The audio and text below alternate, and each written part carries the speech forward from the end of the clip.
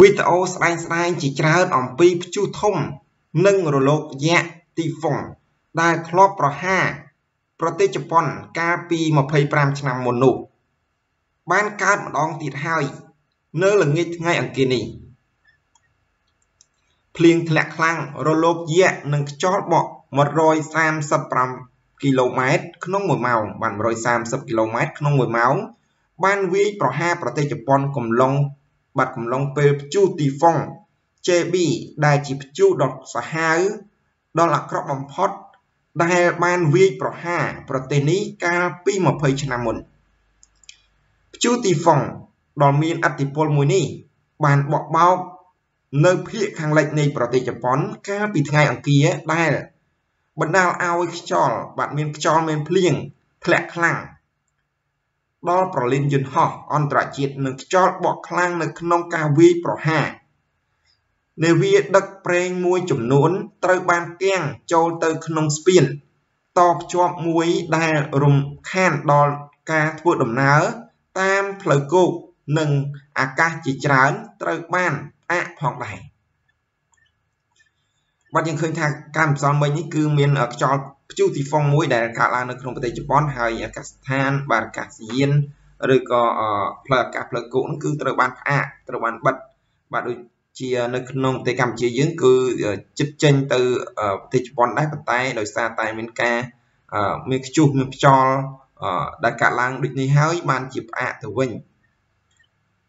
បាទនេះគឺជាចំណុចមួយដែលគួរឲ្យប្រុងប្រយ័ត្នបាទដែរបាទប៉ុន្តែយើងឃើញថានៅប្រទេសជប៉ុន អឺទោះបីយ៉ាងណាគឺនៅតែរឹងមាំបាទនៅតែរឹងមាំប៉ុន្តែ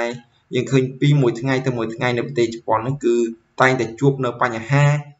គ្រោះធម្មជាតិច្រើនជាងគេ បាទហើយច្រើនហើយមិនមែនច្រើនហើយអស់តិចតិចទេបាទគឺអស់ច្រើនតែម្ដង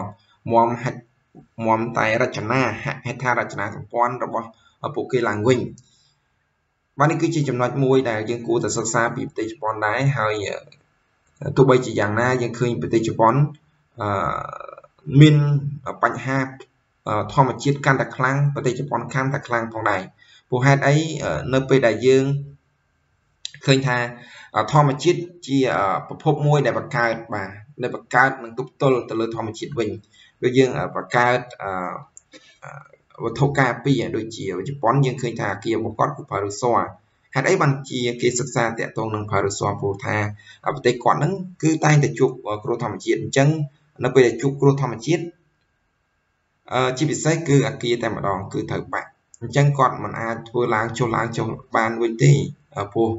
មកបានអាគារមួយមួយគឺចំណាយពេលច្រើនអស់លុយរាប់លានដុល្លារបាទមកបានអាគារមួយមួយឡើងវិញអញ្ចឹងគាត់ត្រូវសិក្សាគាត់ត្រូវសិក្សាថាធ្វើម៉េច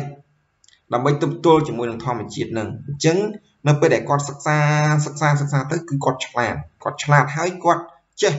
ជាងគេនៅលើពិភពលោកដែរបាទយើងឃើញជប៉ុនណាគាត់បច្ចេកវិទ្យាគាត់គឺខ្លាំងណាបាទខ្លាំងដោយសារតែធម្មជាតិនឹងឯងដែលធ្វើឲ្យគាត់មានការទប់ទល់វិធីទប់ទល់ជាមួយធម្មជាតិនឹងបាទអញ្ចឹងបានគេថាធម្មជាតិគឺជាប្រភពនៃការបង្កើតបច្ចេកវិទ្យាបាទ